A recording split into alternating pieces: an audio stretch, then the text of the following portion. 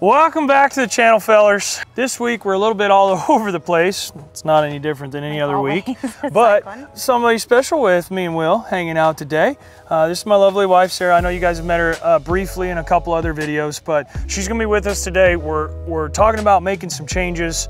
We got a lot of work hitting into summer. We need to make sure we're making the appropriate need for the guys out in the field. Basically a little bit more about employee structure. We wanna make sure that we get out here with these guys, watch, I want her to be able to see exactly what each man is doing, what's their role, what's their responsibilities, and make a better educated, justified guess from there, you know? Really in business, as me and Sarah found out, almost going on eight years, it's a lot of trial and error. Hmm. So you have to, you can't just stand in the middle of the road. You gotta make a decision. Hey, we're gonna try this route. If this doesn't work, yes, it's going to affect us.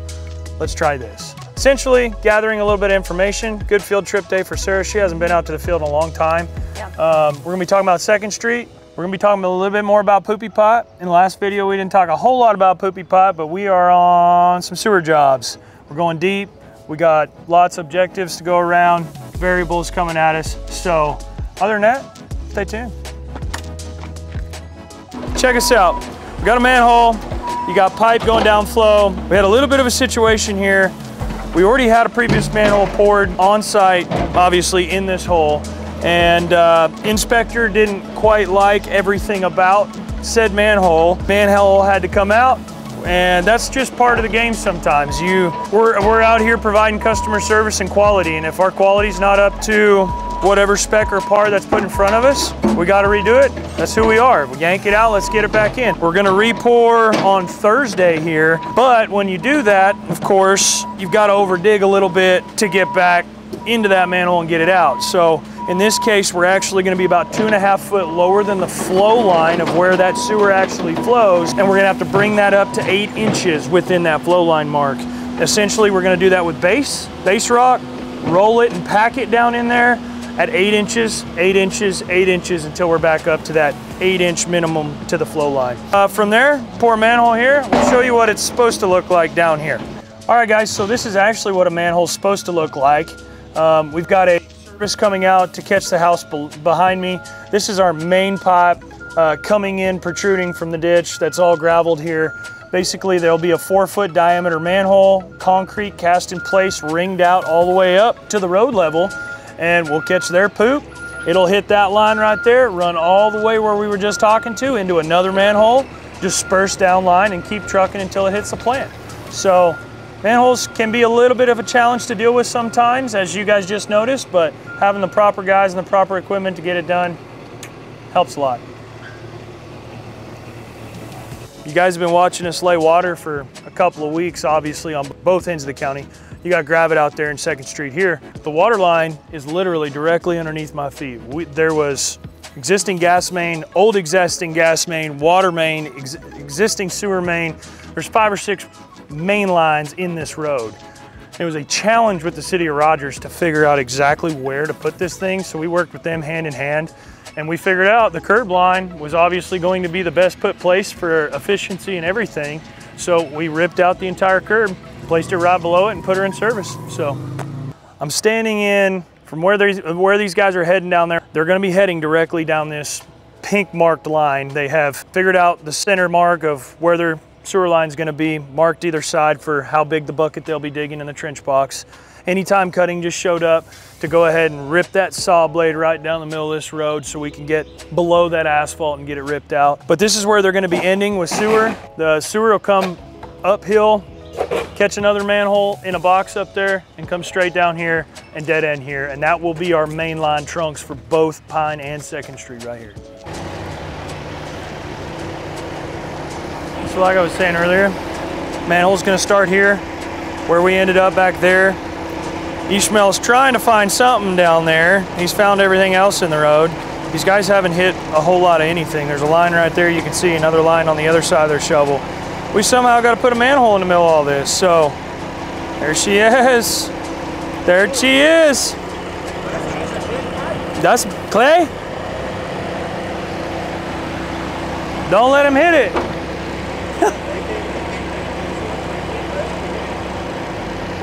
he said it's clay. If it's clay, it'll be a matter. It'll be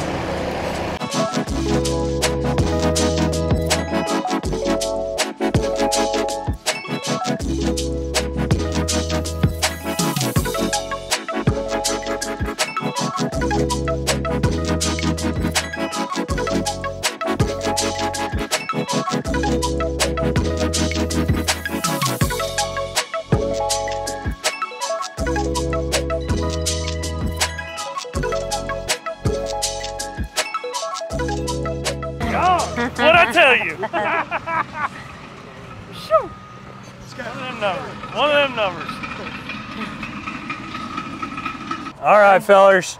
So, showing Sarah a little bit about being out here in the field and working around sewer and the depth of it. And we're at Northwest Park now. Obviously, you guys just saw Second Street, but we've got a hole full of water right here. We're actually, uh, as you guys saw in the last video, we're gonna be going out here into this existing road. It's a main collector north and south road here in Rogers. We're gonna be hitting that manhole right I don't have to look at the camera. I'm hitting that manhole right out there. It's about 15 foot deep in the middle of that road. That is going to, basically the road's gonna get shut down on the 31st. We're gonna bring a trackhoe in here, get that dug up and move our way into this manhole. From there, we've taken off and gone this way. Is this the manhole that we have to pour? Yes, that is a manhole we have to pour. Great question. Thanks. Hey, I do have another question. Okay, really what other quickly. question you got? What are these two? Okay, what are these two pipes that are coming in here, and why does this one have a smaller pipe? It coming off of looks it? to be an old conduit with a fiber in it, and then it looks like their coupling didn't hold together and their fiber's just running through it. Okay, I think. got it. The one thing about job sites that you really just never know, you can deal with crappy material, you can deal with just about anything, but groundwater is a terrible issue to deal with. And this job site just happens to be very prevalent with it. Manhole we poured yesterday, cast in place manhole, like I keep saying, a lot of the places in this country, um, they just do precast manholes, so we're, we're kind of a little bit different. We form it up directly from the bottom all the way to the top. This is a sh little shorty. We're changing direction, coming from just back where we are talking, changing direction, making a quick short jog over and getting around this tree. And then the guys are taking off straight as an arrow right towards a job trailer and setting a manhole. Oh, I think it's like three, 350 down that way. But yep, manhole, anytime sewer changes direction, anytime it ever changes direction, has to have a manhole. A pipe coming out of here, right? Mm-hmm. To be able to form the manhole. Yep. But it's not in that hole over there. So But have it is. only okay, but it's but it's covered. with water. The water level's just, the groundwater's Is- just increased okay. enough that it's just covering the pipe. It's Got got a good plug in it. It's braced from top to bottom. It will not move. Got it. Okay. Yep. I just didn't see that. You remember the manhole so we just didn't know how saw out at uh, Second Street with the T-posts and the bracing and the Yes. tracer wire around Yep. the pipe and the service was coming out? Same thing right there in the exact location that they wanted It's it just set. underwater. Yes, ma'am. Got it. One of the most essential tools of a utility man's truck is his pump. His brand, this is a brand new Predator here. She's real nice. Get her Harbor Freight.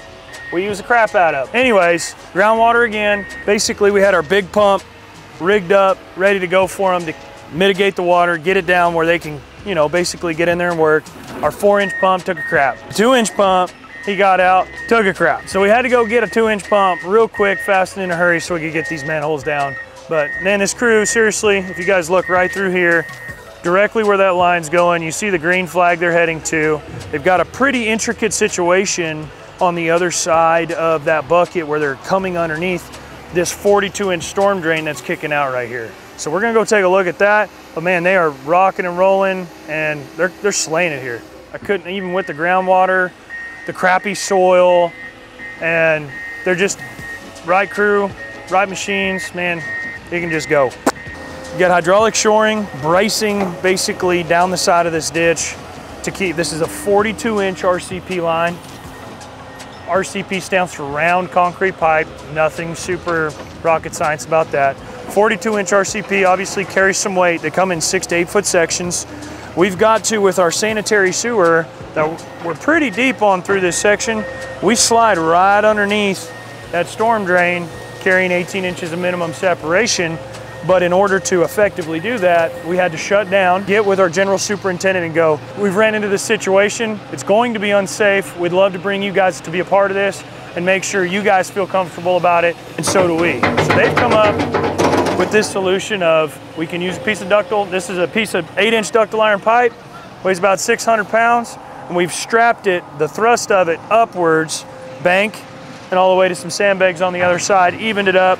And this was per uh, the safety manager of the general superintendent, so we didn't necessarily have to make the call of what we feel is safe. They have deemed this safe, so we can keep working no matter what. Obviously, we've got some material that needs to be excavated underneath the, the rest of that pipe. trench box goes in, keep the bodies in the box, and get in and out of there as quick as we can.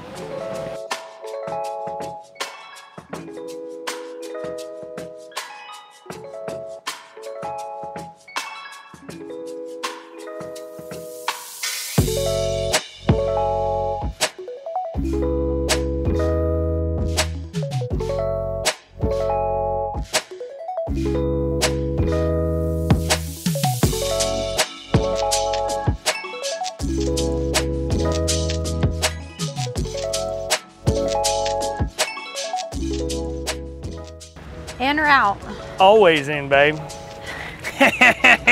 right, guys, made it here to the airport. It's been a minute since I've been here. I think this is Sarah's first time here. Yep. And it's it's really cool looking. Like everything where we're standing used to be that level, and it. I mean, they have really covered an area, and they're really starting to move some earth out of here just to get down to the level where we need to get down.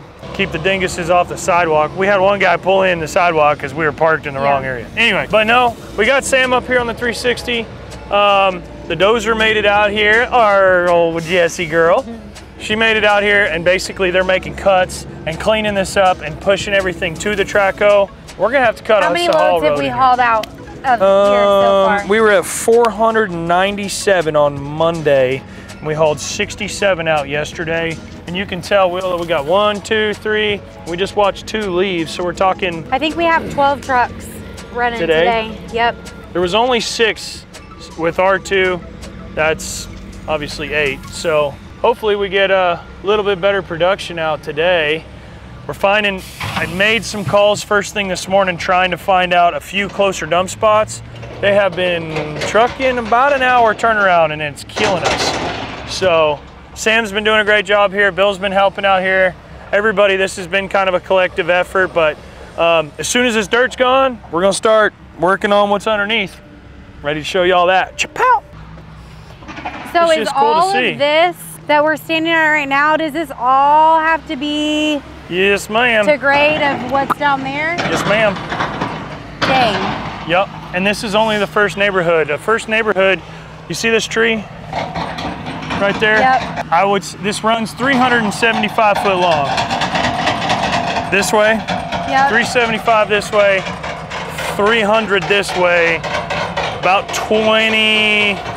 Good God, Sam. Mm, 18, 19 foot tall average through here. And as, as you can tell, we're on the top, and then there's even more of a pile on top that they've been pushing.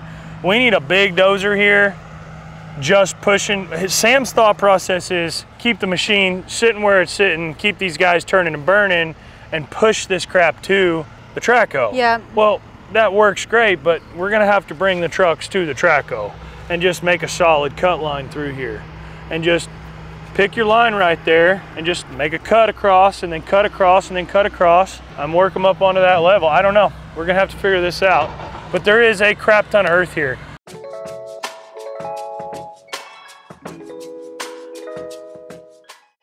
Guys, thank you so much for watching. Um, as you can see, Northwest Park's rolling really well. Them guys got that thing way under control. Second Street coming on with the sewer and the poopy pipe, rocking and rolling. I hope you guys enjoyed as much as I did having Sarah along with us. That was really cool for me today. I mean, me and Sarah don't get to do that much.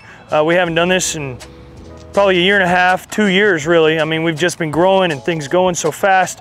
She needs to be where she's at. I need to be where I'm at all the time. And it was so nice to just watch her reaction today and watch the guy's reaction, her getting out of the truck and thinking it was just boss man. So that was super, super cool. Smash that like button, drop a subscribe, smash that like button, hit that subscribe button, and drop comment. Uh, just do. Let's do a simple Sy-Con. S Y dash C O N. Just like our, just like our name above. The subscribe button should be like right in here. Other than that, um, guys, I hope you're loving the content. We've got some really, really cool content coming. Family Days coming. Um, that is going to be a massive give back to our employees. Will's going to be here for all of that. The, the incoming of machines and outgoing, that's going to be a massive process. So make sure you're subscribed. Drop that comment a Sy-Con. After this, we're probably going to pull some names of everybody who's um, if you've dropped a comment like we've asked before, and try and give back to you guys and some of you subscribers. So as long as you're subscribed, drop a comment, hit a like on a video, got a hat coming your way, make sure you're dropping it. Other than that, guys, we'll see you on the next one. Be safe.